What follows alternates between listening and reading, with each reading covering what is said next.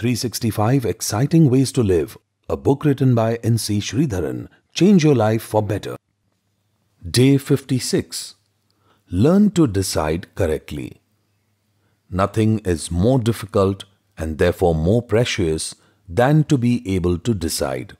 A quote by Napoleon Bonaparte.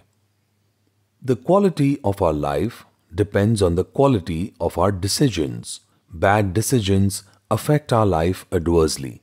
All of us are capable of making good decisions if we remember the following simple rules. Decide the purpose which you want to achieve by your decision. If the purpose is not achieved, then your decision is wrong.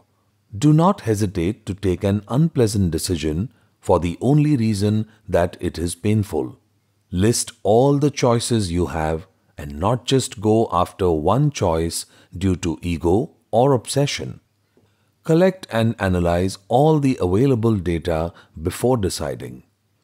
Use trusted friends and well-wishers as sounding board before deciding as they may have a different perspective. Listen to the voice of dissent since your views may not always be correct.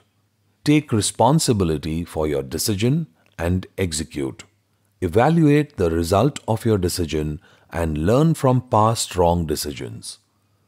Today, list at least three wrong decisions you took in the past three months and check if you have considered the above points before taking those decisions.